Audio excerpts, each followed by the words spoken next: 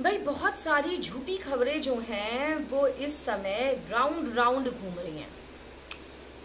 सिद्रा और सिद्धनास ऐसी खबर मेरे तक पहुँची कि वूड सेलेक्ट पर हिना खान जो है, उनको देखा गया है, क्योंकि अब 24 आवर्स आ रहा है बिग बॉस तो यहाँ पर हिना खान बैठकर इजाज को बताती हैं कि सिद्धार्थ शुक्ला के दिल में तो आज भी रश्मि है।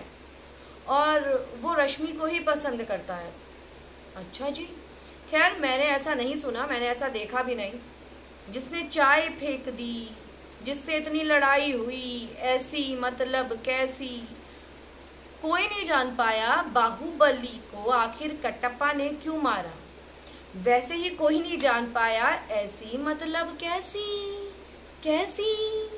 और उसी कैसी के लिए हिना के अकॉर्डिंग सिद्धार्थ के दिल में है ऐसी वैसी जगह।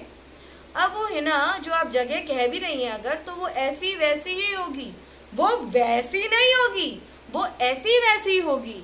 तो जो शहनाज जैसी है, वैसी नहीं होगी, वो दूसरी वाली होगी। Where guys bottom line is that कि इस तरह की खबरों पर ना बिल्कुल भी यकीन ना करें। ये सिर्फ़ ट्रोलर्स को लड़वाने के लिए, फैंडम को लड़वाने के लिए हेटर्स का मुँह खुलवाने के लिए किया जा रहा है। और बूट सेलेक्ट पर मैंने पूरा आगे फॉरवर्ड कर करके भी देखा, लेकिन ऐसी चीज़ मुझे कहीं नहीं दिखी। तो आज के एपिसोड का तो भैया इंतज़ार रहेगा। कि अगर हिना ने ऐसा बोला है, फिर तो सिद्धनाजियंस हिना के पीछे पीछे भागेंगे कि तूने बोला तो कैसे बोला? Well guys what you have to say about it comments में मुझे ज़रूर लिख कर बताएँ, क्योंकि हेटर्स को जवाब देना हमें आता है। और अगर अभी तक आपने हमें सब्सक्राइब नहीं किया है तो हमें सब्सक्राइब कर लीजिए और बेल आइकन को दबाना बिल्कुल भी ना भूलें। Good bye guys